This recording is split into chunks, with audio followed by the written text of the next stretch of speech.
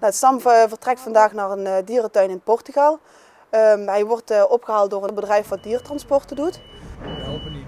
Nou, neushoorns kunnen heel erg sterk zijn en daarom is deze extra stevige kist ook gemaakt. Ja, nu ligt hij nog te slapen, maar hij heeft, een paar dagen terug heeft hij, ehm, ja, mil gekregen, waardoor hij wat rustiger wordt. Het is allemaal nieuw voor hem, zo'n kist. Het is niet normaal dat hij daarin moet. Maar door dat middel heeft, heeft het wel geholpen dat hij erin is gekomen. Nou, normaal gesproken gaat een uh, neushoorn hier pas uh, ja, een leeftijd van 8, 9 jaar ongeveer weg. Met die leeftijd gaan ze naar een uh, fok, fokgroep, waar ze een vrouwtje krijgen voor jongen en alles te krijgen.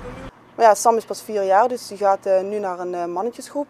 De coördinator die over het fokprogramma van de neushoorns gaat, die heeft voor Sam een plekje in een mannengroep in Portugal gevonden, waar hij waarschijnlijk tijdelijk naartoe gaat. En als hij groter en volwassener is, zal hij denk ik naar een fokgroep toe gaan.